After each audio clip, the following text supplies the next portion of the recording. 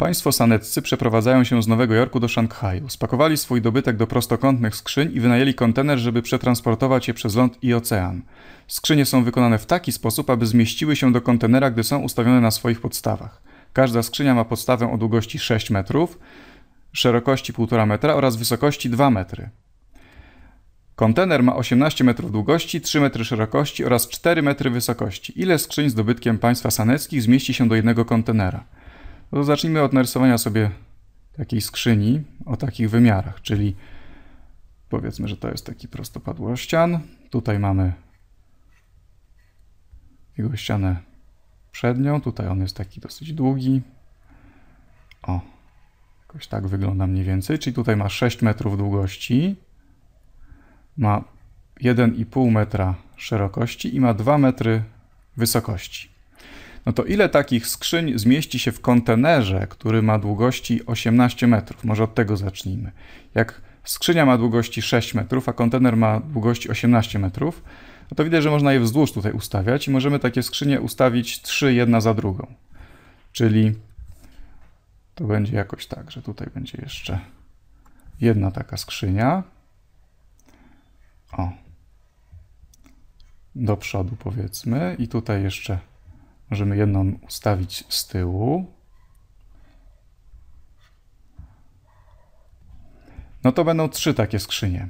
I rzeczywiście, jeżeli tu jest 6 metrów, tu jest 6 metrów, no to razem to będzie rzeczywiście tutaj 18 metrów. No a teraz ile na wysokość możemy ustawić? No ta skrzynia ma 2 metry wysokości, a kontener ma 4 metry wysokości. Czyli widać, że tutaj mogę postawić jeszcze jedną skrzynię do góry, i mogę postawić obok siebie dwie skrzynie, dlatego że szerokość kontenera to 3 metry, a szerokość skrzyni to 1,5 metra. Czyli tutaj mogę również dwie skrzynie obok siebie postawić, czyli dostanę taki obrazek, że tutaj będę miał takie skrzynie dwie obok siebie i dwie jedna na drugiej. No to ile tych skrzyń razem będzie? Czyli tutaj mogę jeszcze sobie przedłużyć to, wyobrazić jak to wygląda cały ten kontener wypełniony skrzyniami. To będzie cały ten kontener. No i ile tych skrzyń będzie? No można to różnie, na dwa sposoby tutaj sobie zrobimy, można to obliczyć. Można właśnie tak jak teraz zrobiłem, policzyć ile w każdym kierunku tutaj tych skrzyń się mieści. No właśnie, no to ile się mieści? Mieści się, trzy skrzynie mieszczą się wzdłuż. To muszę pomnożyć przez to, ile mieści się skrzyń w poprzek, czyli razy dwa i ile skrzyń mieści się do góry, czyli też razy 2. 3 razy 2 razy 2 to będzie 12. Czyli 12 takich skrzyń się zmieści.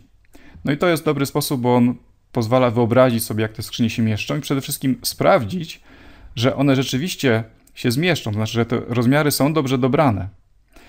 No ale jeżeli tutaj mamy obiecane, że te skrzynie na pewno mają dobrane rozmiary, tak że to się wszystko ładnie ustawi, no to możemy zrobić też to innym sposobem. Możemy obliczyć objętość jednej skrzyni, no to tutaj sobie obliczmy, objętość skrzyni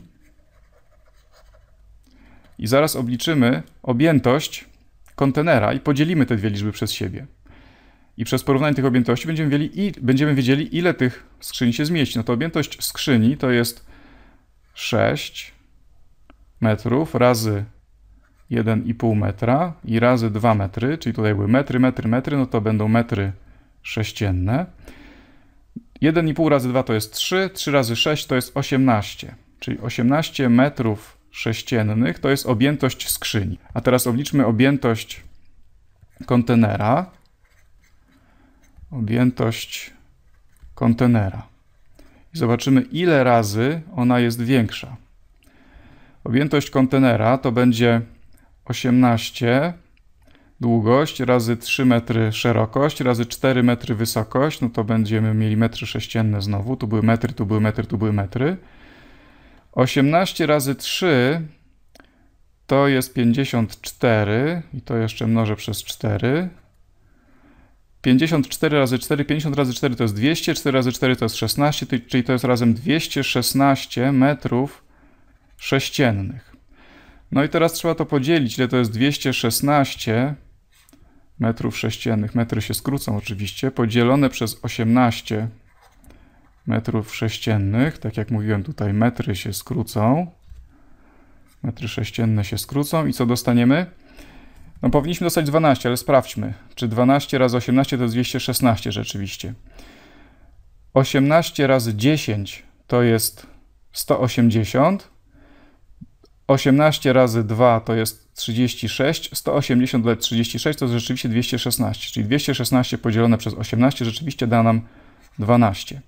No więc to też jest dobry sposób obliczenia tego zadania, ale ja wolę ten pierwszy jednak, bo jest bardziej poglądowy i pozwala również sprawdzić, czy te skrzynie rzeczywiście się zmieszczą, bo jeżeli tutaj ktoś pomylił jakieś rozmiary, to nawet jeżeli stosunek objętości będzie taki jak trzeba, to może się okazać potem, że skrzynie będą za długie albo za wysokie i i tak nie dadzą się ustawić w kontenerze tak, żeby zmieściło się ich 12.